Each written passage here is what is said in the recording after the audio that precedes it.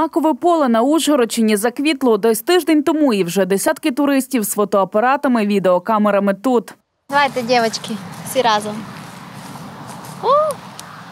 Чесно кажучи, побачила в соцмережах, що всі постять і поцікавилися, де така краса в нас в Ужгороді. І е, оказалося, що зовсім поруч Е, Відчувається краса природи, е, запах. І з з дітьми теж вирішили прийти, тому що красу природи треба виховувати з дитинства.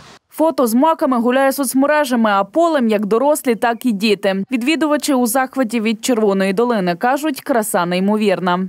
Я приїхала побачити всі, е, красиве поле.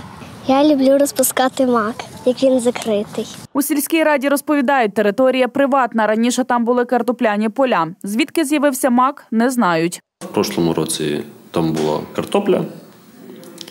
В цьому році, я так поняв, нічого не посадили, а посіяли мак.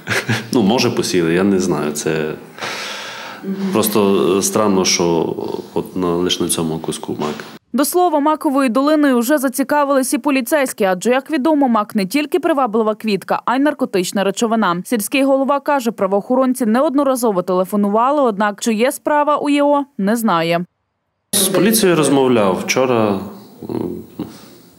Якби вони теж мене питали, чи це поля. Кажу, ну є там громадяни, звертайтеся до них, запитайте, чи вони сіяли, чи не сіяли. Ну, я вам скажу, що це не, ну, якби, не один такий факт, бо десь роки два назад е, хтось посіяв маки на чужому полі, теж ну, потім удачно їх скусили. В результаті природа сама зробила вибір. Однак дивно, що мак оселився цілою долиною, та й тільки на цьому місці. Тим не менше, фото на маковому полі справді чудові. Природня фотозона розміщена неподалік Ужгорода у селі Оріховиця. Це приватна територія, і минулого року тут були картопляні поля. Восени ж власник збирається посадити тут часник. Тому всім, хто не встигли зробити селфі на чудовій маковій долині, варто поквапитись.